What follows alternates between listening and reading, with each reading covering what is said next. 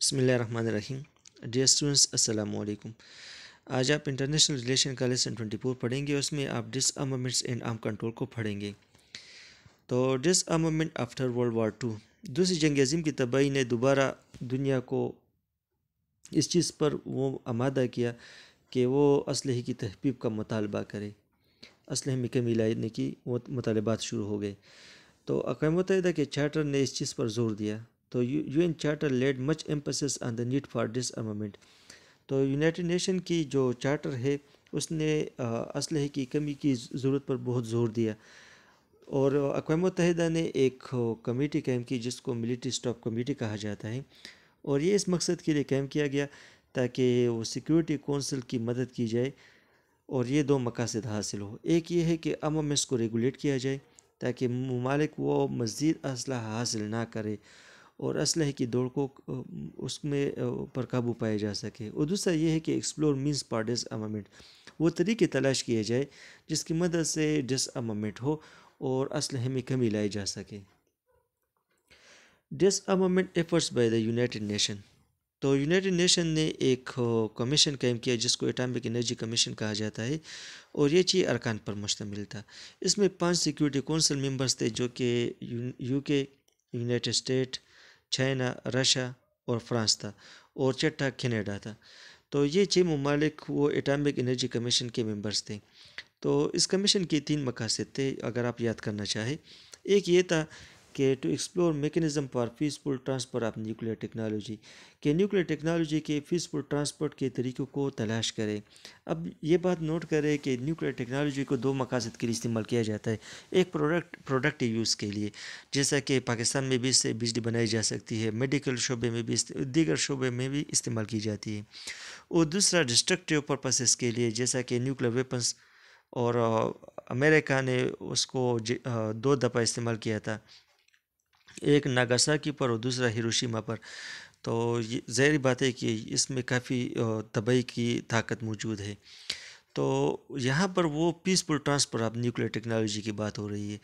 दूसरा ये है कि to identify safeguards by way of inspection for complaints test to prevent hazards of violation दूसरा वो सेफ़ गार्ड्स वो आइडेंटिफाई करने चाहिए, जिसके ज़रिए से कमीशन के अरकान वो किसी मुल्क में जाकर इंस्पेक्शन करे। ताकि कोई मुल्क वो न्यूक्लियर वेपन्स तो हासिल नहीं कर रहा। तो इसकी बुनियादी कोशिश ये है कि जो नॉन न्यूक्लियर स्टेट्स है, वो न्यूक्लियर ना हो जाए। तीसरा मकसद ये था to eventually work towards elimination of nuclear weapons और आखिर में ये बड़ा मकसद था कि जो न्यूक्लियर स्टेट्स थे जो कि यूके था फ्रांस था चाइना चाइना था रशिया और अमेरिका तो उनके पास जो न्यूक्लियर वेपन्स हैं वो उसको ख़त्म कर ले ताकि दुनिया में कोई किसी भी मुल्क के पास न्यूक्लियर वेपन्स ना हो। अब दोनों जो सुपर पावर्स थे वो इस बात पर मुतफिक थे कि हम एक दूसरे के साथ ताउन करेंगे और, और डिसआर्मामेंट को यकीनी बनाएँगे। लेकिन उनका जो डाइवर्जेंस स्टांस था तो वो ऑन द कमीशन गोल्स तो इसी वजह से कमीशन वो मुकम्मल तौर पर इनफेक्टिव रहा। अब डाइवर्जेंस स्टांस क्या था? ये जो उनका नज़रियात थे सोच थे मौक़ थे वो मुख्तलिफ़ थे उनमें कन्वर्जेंस नहीं था बल्कि वो वहाँ पर डाइवर्जेंस था यूएस का ख्याल उनका कहना था कि हमें सबसे पहले जो न्यूक्लियर वेपन्स है उसको कंट्रोल करना चाहिए फिर उस पर उसके बाद डिस आर्मामेंट की बात करेंगे न्यूक्लियर कंट्रोल की बात ये है कंट्रोल की कि हम जो न्यूक्लियर वेपन्स है उसको फैलाव को रोका जा सके ताकि दूसरे मुल्क में न जाए और उसकी प्रोलिफरेशन पर कंट्रोल हासिल की जाए, ताकि एक मुल्क से दूसरे मुल्क में वो मुंतकिल ना हो। और इसके बाद हम न्यूक्लियर वेपन्स में या जो हथियार है उसमें कमी लाएँगे। इसके बरकस यूएसएसआर का कहना था कि सबसे पहले हम डिसआर्मामेंट की बात करेंगे, सबसे पहले असलहे की तखफीफ में करेंगे, उसमें कमी लाएँगे और फिर उसको कंट्रोल करना आसान हो जाएगा। तो इसी वजह से ये चीज़ नाकाम हो गई। फिर General Assembly of the UN, United Nation की जनरल असम्बली ने एक कमीशन कायम किया। ये कमीशन ऑन कन्वेंशनल आर्मामेंट था। वो पहले एटॉमिक एनर्जी कमीशन था, जो कि न्यूक्लियर वेपन्स के हवाले से था, और ये कन्वेंशनल आर्मामेंट्स, यानी ये जो मिसल्स है और इसी तरह दीगर टैंक्स वगैरह आलात है और जो कि हथियार है, उस पर उन्होंने बात की कि उसको, उसमें भी कमी लाई जा सके। क्योंकि जब एक मुल्क के पास हथियार कम हो तो वो एग्रेशन नहीं करेगा दूसरे मुल्क पर। तो ये कमीशन भी नाकाम हुआ which also fell victim to cold war divergences तो कोल्ड वार डाइवर्जेंस की, का शिकार हो गए, ये ये कमीशन भी। और आखिरकार यू एस एस आर ने दोनों कमीशन से निकल गया ड्यू टू चाइना रिप्रेजेंटेशन आदिम क्योंकि चाइना को नुमाइंदगी दी गई और यू एस एस आर उस वक़्त चाइना की नुमाइंदगी वो नहीं चाहता था और ना ही इन्फ्लुएंस चाहता था और चाइना का इन्फ्लुएंस उस वक़्त बढ़ रहा था। तो इसको बहाना बनाकर यू एस एस आर इससे निकल गया। एटम्स फॉर पीस प्लान 1953 में president Eisenhower of the US तो यूनाइटेड स्टेट का जो सदर था एजन हावर उसने एक तजवीज़ पेश की और उसने कहा कि एटॉमिक एनर्जी कमीशन के तहत उसके कंट्रोल में एक पुल ऑफ़ पेशनेबल मटेरियल्स होगा। यानी जो प्लूटोनियम है या यूरेनियम है जो कि इनरिच किया गया है तो ये एटॉमिक एनर्जी कमीशन के पास होगा और इसको जो डिक्लेयर न्यूक्लियर स्टेट्स थे वो उसको डोनेट करेंगे। और ये जो फैशनेबल मटेरियल्स है ये जो कि इनरिच यूरेनियम है, वो अदर कंट्रीज़ को प्रोवाइड की जाएगी सप्लाई की जाए ताकि उससे वो बिजली पैदा करने के लिए और दीगर पीसफुल पर्पसेस के लिए इस्तेमाल करें। तो सोवियत ने इस प्लान की मुखालफत की। अब बात यह है कि जो फैशनेबल मटेरियल है, जिसको इनरिच किया गया है तो एजन हावर का कहना ये था कि ये टेक्नोलॉजी वो किसी और मुल्क हासिल नहीं कर पाएँगे, क्योंकि वो उसको इनरिच नहीं करेंगे।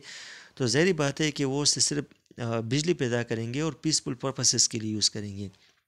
लेकिन सोवियत यूनियन ने इसकी मुखालफत की और उनका कहना था कि न्यूक्लियर टेक्नोलॉजी के पहलाव से पहले माहिदा होना चाहिए ताकि कोई मुल्क वो न्यूक्लियर वेपन ना बना ले।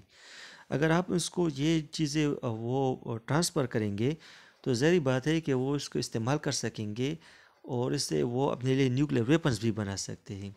तो इसी वजह से सोवियत ने इस चीज़ की मुखालफत की। आम, एटम्स पर पीस प्लान की। दीगर डिस आर्मामेंट्स एपर्स की अगर हम बात करें तो दोनों सुपर पावर्स जो कि अमेरिका और यूएसएसआर था, उनके दरमियान जो दो तरफा मुलाकातों और बैलेटरल मीन्स के ज़रिए से काफ़ी जो डिसआर्मामेंट्स और आर्म्स कंट्रोल की कोशिशें की गई। और उसमें जो सबसे ज़्यादा अहम है दूसरी जंग अजीम के बाद, उसमें non nuclear test ban treaty है एनटीबीटी और दूसरा है न्यूक्लियर नॉन प्रोलिपरेशन ट्रीटी है एनपीटी। इसके साथ साल्ट है strategic arms limitation treaty one and treaty two. ये यूएसएसआर और अमेरिका के दरमियान हुए थे, ये साल्ट वन और टू।